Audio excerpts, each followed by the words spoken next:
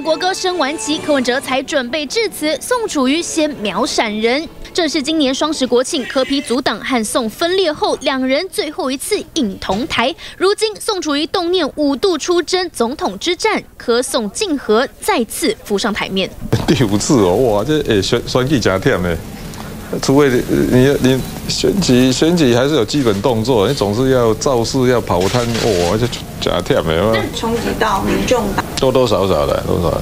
力冲国会席次，柯主席坦言会冲击，不仅不分区板块可能位移。根据最新民调，二零二零若是蓝绿对决，蔡英文以百分之四十四点三领先韩国瑜，但若是宋楚瑜加入战局，三角都情况下，影响最大的将会是蔡英文的支持度。还是有一些影响的，那不我很难判读的。搞不清楚？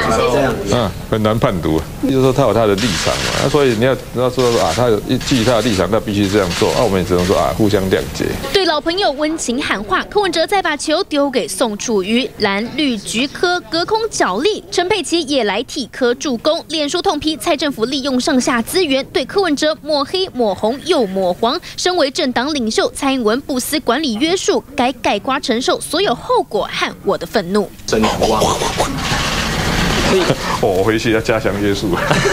铺排二零二零，柯文哲冲政坛版图，如今不仅绿白回不去，曾经的柯宋友谊也难保。记者史文贤，重回 S A 小组台北采访报道。